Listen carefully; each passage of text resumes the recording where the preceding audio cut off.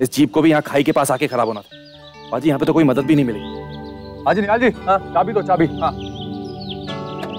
हाँ लगाओ लगाओ, चाबी लगाओ।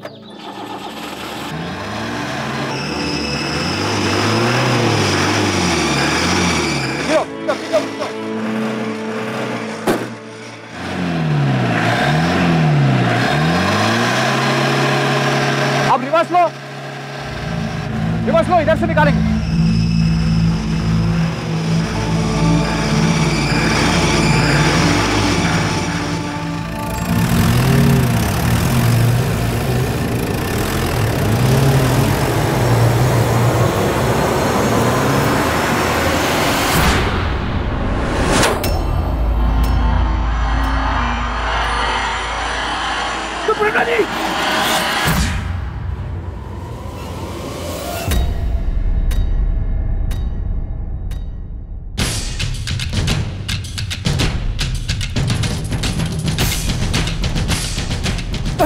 बाजी हाथ हाथ बाजी हाथ हाथ हाथ हाथ बाजी आगे आगे बढ़ो आओ, आओ, आओ, आओ।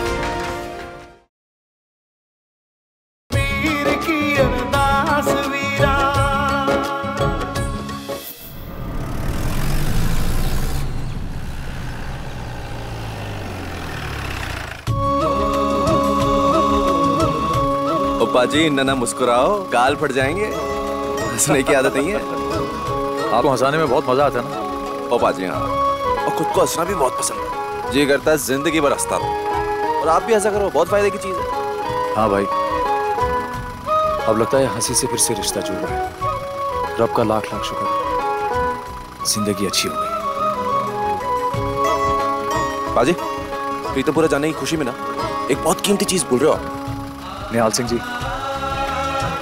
प्रीतमपुरा में जो कुछ भी है ना, उससे ज़्यादा मेरे लिए कुछ भी कीमती नहीं। ये रही आपकी चीज़ें और आपका बटुआ।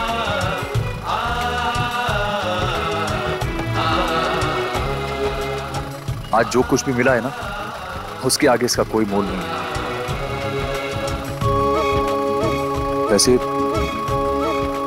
आप थोड़ी गाड़ी तेज चलाएँगे? ओ जी क्या बात कर दी? अभी हवाई जहाज़ बना देता हूँ।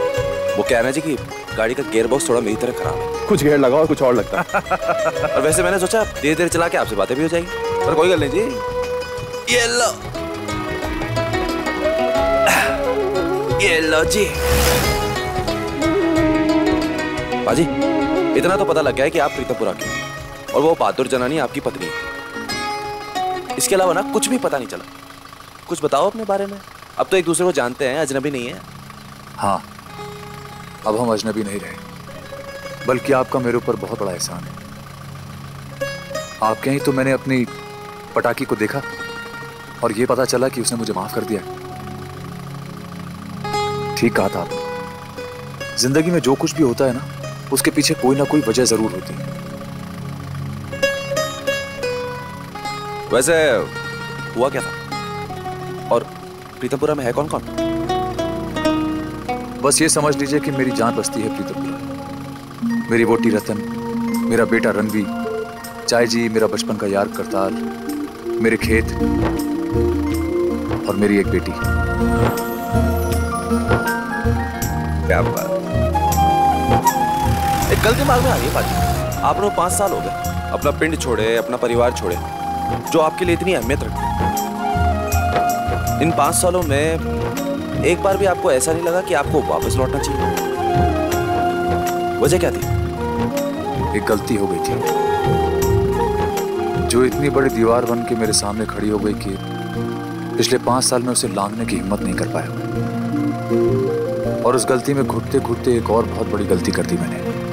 घर छोड़कर निकल आया। ये भी नहीं सोचा कि रिश्तों में इतनी गहराई होती है कि छोटी बड़ी गलतियों को माफ़ करने की उसमें बहुत बड़ी ताकत होती है। पर रब की लाख लाख मेहर है। ज़िंदगी एक नए सिरे से शुरू करने का मौका मिल रहा है। बची हुई ज़िंदगी ऐसे ही निकल जाए। बिल्कुल सही सोचा आपने प्राची। हाथ से ना ज़िंदगी नहीं बदलते। ज़िंदगी जीने का तरीका भी बदल देते अब मेरे साथ देखो ना अभी तक समझ नहीं आ रहा कि असली संपूर्ण है कौन। वो जिसे मैं बस में मिला था या ये जिसे मैं उसके पिंड छोड़ने जा रहा हूँ। असली संपूर्ण सिंह यही है निहाल सिंह जी जो आज अपने पिंड वापस जा रहा है। वैसे आप गड्डी थोड़ा तेज चलाएँगे? ओ जी क्या बात करती है? बना दो हवाई जहाज़। लो हेलो। और उसी सफ़र में संपूर्ण ने अपनी सारी कहानी मुझे बताई। गुड्डू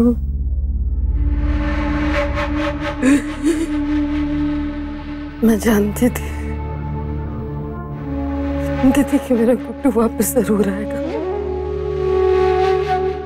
जानती थी, मेरा गुड्डू रतन के बगैर रह नहीं सकता। अपने रणवीर के पास वापस आएगा मेरा गुड्डू अपने परिवार के बगैर रह नहीं सकता। मेरे रतन का इंतज़ार खाली नहीं जाता। पाँच साल जो उसने दुपट्टा लगाया था, वही दुपट्टा उसको खींच कर वापस ला रहा था। मेरा गुड्डू वापस आ रहा था। क्यों नहीं आया मेरा गुड्डू वापस? तू ला रहा था ना उसको अपने साथ? फिर ऐसा क्या हुआ कि मेरा गुड्डू नहीं आया? बोल। चाचा हम दोनों ही साथ आ रहे थे। अचानक बीच रास्ते में जीप खराब हो गई। इस जीप को भी यहाँ खाई के पास आके खराब होना था। बाजी यहाँ पे तो कोई मदद भी नहीं मिली। हाँ जी निहाल जी। हाँ चाबी दो, चाबी। हाँ। हाँ लगाओ लगाओ, चाबी लगाओ।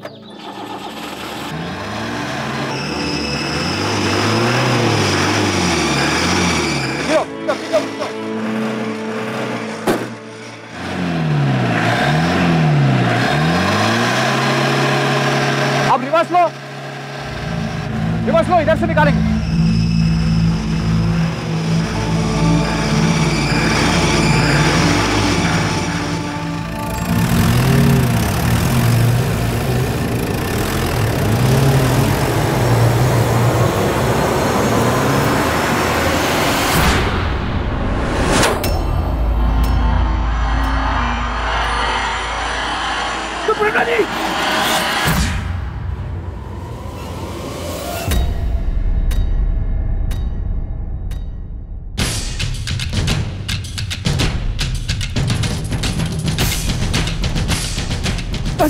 राज़ी हाथ हाथ राज़ी हाथ हाथ हाथ हाथ बच आगे आगे आगे बढ़ा।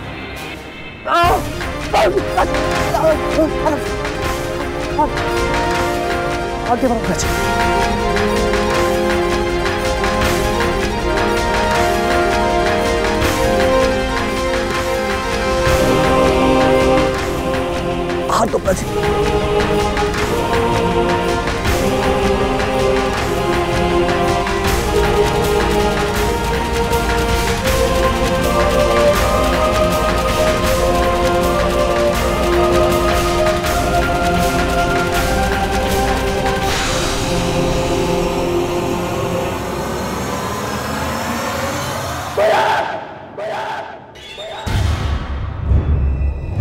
आप चिंता मत करो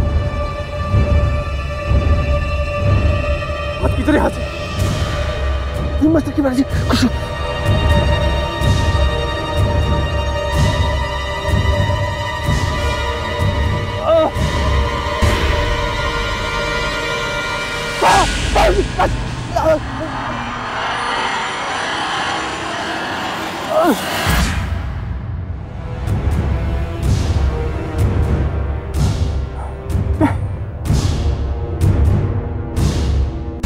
समझ गया रब नहीं चाहता कि मैं अपने रतन के पास।